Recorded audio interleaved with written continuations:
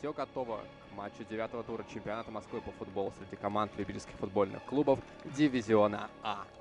Начинают и выиграют обычно белые, но в данном случае футболисты Родины играют сегодня в лазурной, как всегда традиционно домашней для себя форме. Никого не оказалось вблизи, а вот здесь Медадзе вблизи. Ворот Демина убирает голкипера и уже незащищенные им ворота вторым касанием отправляет мяч. Воспользовался он ошибкой между защитником и голкипером команды соперника. Здорово разобрался внутри штрафной площади. Ничья с Росичем, поражение, да, против Зеленограда. Но по ходу этой игры они дважды вели в счете. Но при этом, смотрите, сколько много забивает команда Романа Рогова. Но в данном случае им во второй раз в этом матче приходится вытаскивать мяч из собственных ворот. Мы можем ждать в этой игре очередной камбэк в исполнении команды хозяев.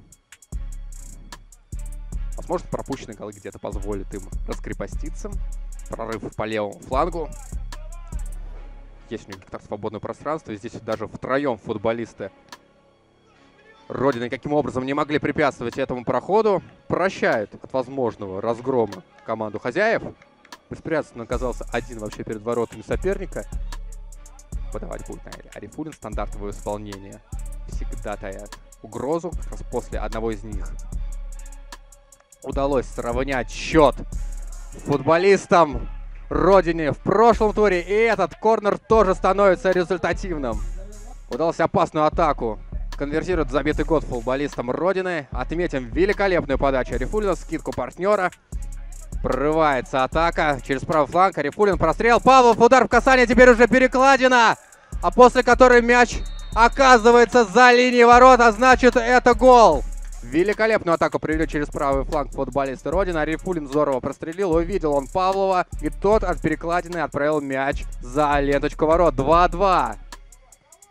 Только сейчас заброс мяча на Иванова работает. Прострел. Медадзе бьет и выводит свою команду вперед.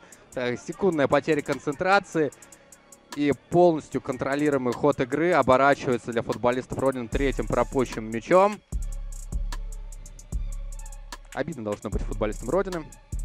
Блокируется этот удар Павлова. Сейчас нужно доработать, не позволить Писареву убежать. В итоге есть контакты нарушения правил, получает желтую карточку Аверьянов. Вот эти жестах, конечно, нужно исключить из своей жестикуляции. И стремляется сам в атаку, подключая розыгрыша мяча. Том числе и Халибегова. Подача. Наталья штангу. Удар и 3-3. Вновь Джокер. Древно приносит команде такой важный гол. На поток поставили такие камбэки команда Романа Рогова. Здесь в центральном круге. Опасно прямой ногой идет. футболист команды Летнего Дождика. А теперь у нас уже звучит финальный свисток, который фиксирует результативную ничью в матче Родины и Летнего Дождика.